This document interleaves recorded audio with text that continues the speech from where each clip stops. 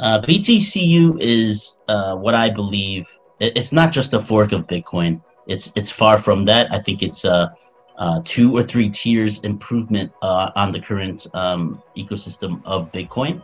Uh, we most people know Bitcoin as a store value. I think for the most part, even though it was originally designed as a, a peer-to-peer e-payment system, but we all know that uh, it has a lot of weaknesses when it comes to that, and uh, regarding scaling and uh, block size and and all that.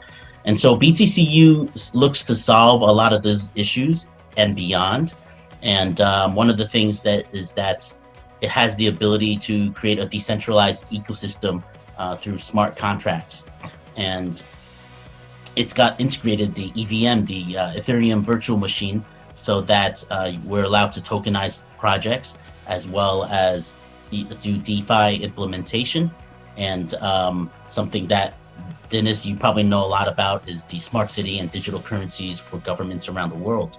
And that right there is something that Bitcoin cannot do. And we all know Ethereum is um, a, a, a, lot of times it's kind of haunted by you know um, high gas fees and prices and uh, and the scaling issues of Ethereum. Even though they are working on it, uh, it's still going to continue to be a problem. So BTCU is another ecosystem for that. Uh, one of the other things that BTCU solves is the um, the mining issues that is related with proof of work. So with Ethereum, it's proof of stake. Um, but in terms of scalability, I think BTCU beats both of those.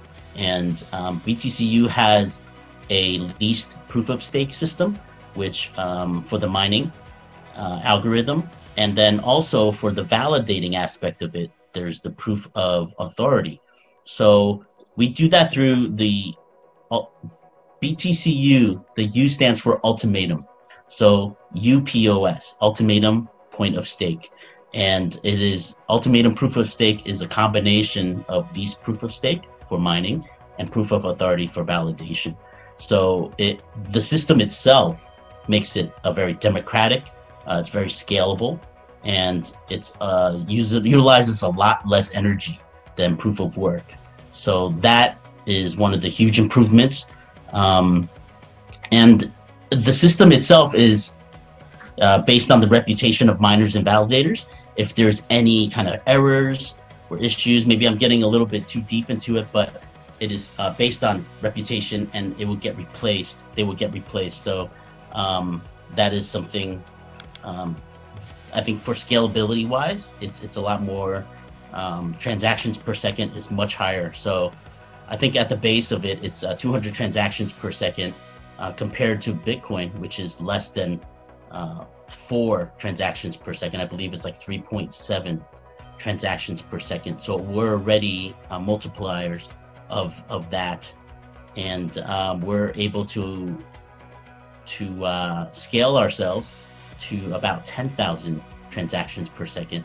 And compared to something like um, maybe we're familiar with like Visa, Mastercard, I believe Visa, MasterCard are about at around 2,300 transactions per second. And so we are, we could be four or five times faster than that. So scalability is, is, is awesome. And we also have, you know, there's a lot of um, discussions about uh, privacy coins.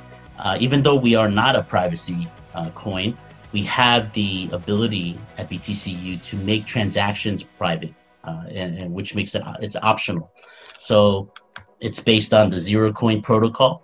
And um, whenever a transaction is done on BTCU, you can make it private by transferring it into, uh, transforming it into ZBTCU. And um, you can split it up into many kind of payments and uh, and then converting that back to BTCU. So that is one way uh, transactions can remain private on BTCU.